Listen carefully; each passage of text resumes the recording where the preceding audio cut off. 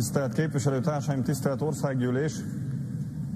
Mielőtt rátérnék a konkrét miniszterelnök ígéretek számonkérésére, az eddig beteljesítetlen ígéretek felsorolására, az erre való emlékeztetésre, szintén a szatmári térséggel kapcsolatban hadd emeljem ki azt a tényt, hogy Szabolcs-Szatmár Bereg megyében, különösen annak ugye a szatmári részén élnek a legalacsonyabb keresetű magyar emberek. Itt a legalacsonyabb az átlagkereset nettó 138 ezer forintot visz haza egy átlag szabolcs szatmár bereg megyei ember, sokszor ettől is kevesebbet egy szatmári térségben élő munkavállaló, holott sokszor elmondtam már, hogy ugyanolyan értékes munkát végeznek, mint a fővárosban élők, ugyanazokat a kötelezettségeket teljesítik, ugyanazok a törvények vonatkoznak ránk is, ugyanazokat az adókat és más közterheket fizetjük, de mégis az egyik legszebb egy, egyúttal legnehezebb helyzetben lévő térsége ez az országnak.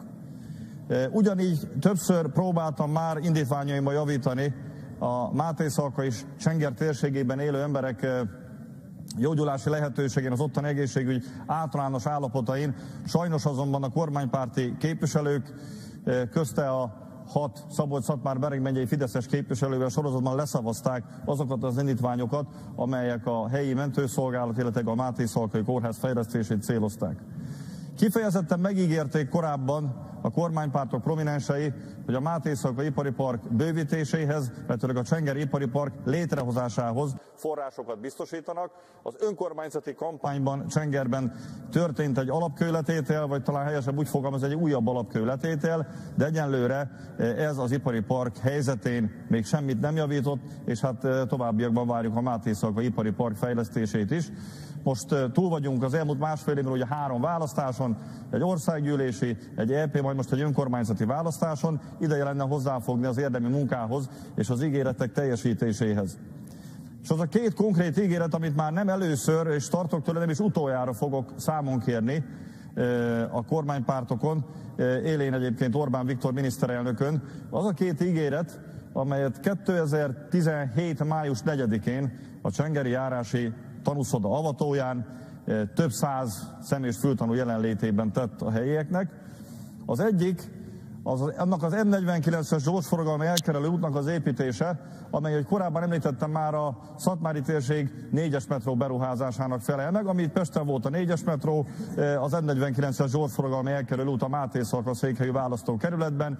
Ciklusról ciklusra hivatkoznak rá a mindenkori kormánypárti képviselők, de egyetlen méter út még ebből meg nem épült, és ez akkor is tragikus, hogyha valóban papíron már létezik az útnak néhány nyomvonal terve, és a tervekkel kapcsolatos tervek elkészítésére vonatkozó közbeszerzés eljárás folyamatban van.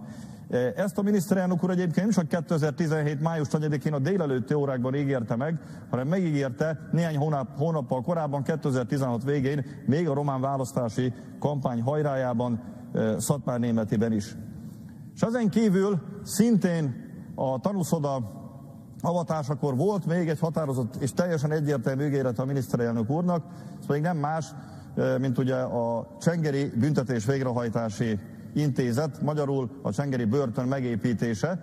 Azonban itt tartok tőle, hogy még súlyosabb problémákkal szembesülünk, mint az útépítésnél, hiszen itt arról van szó, hogy legalább 80 ember a munkahelyét már ott hagyta az átképzés kötelezettség vállalása miatt, és ahelyett, hogy ütem szerint, vagy ütemterv szerint már most, körülbelül mostanra e, el kellett volna kezdeniük a munkát a Csengeri Büntetés Végrehajtás Intézetben. Legfeljebb olyan ígéreteket vagy utasításokat kapnak, hogy Sopron-Kőhidára vagy az ország másik felébe mehetnének munkát vállalni, amit nyilvánvalóan nem szívesen tennének meg és hogy az N49-es út megépítésére szükség lenne, ezt ugye korábbi Kocsordi Máté forgalomszámlálás adatok is alátámasztják. 2006-ban 10.320, 2010-ben több mint 16 ezer gépjármű haladt át Kocsor településen. Ugyanilyen szükség lenne a Csengeri Büntetés Végrehajtás Intézet megépítésére is, és nem tudjuk elfogadni. Személy szerint én sem tudom elfogadni válaszként, hogy a másik nyolc börtön építésének projektjét is leállították. Itt akár közbeszerzési, akár költségvetési problémák merülhetnek fel. Tehát még egyszer a leghatározottabban kérem, és most már követelem, hogy mind a kórházfejlesztéssel, úgy az ipari parkfejlesztéssel ideje lenne foglalkozni, és legfőképpen ideje lenne az M49-es út építését legalább megkezdeni, illetőleg a Csengerés térségének már nagyon sokszor megígért büntetés végrehajtási intézetet megépíteni, hiszen ez legalább 250 környékbeli embernek adna munkát.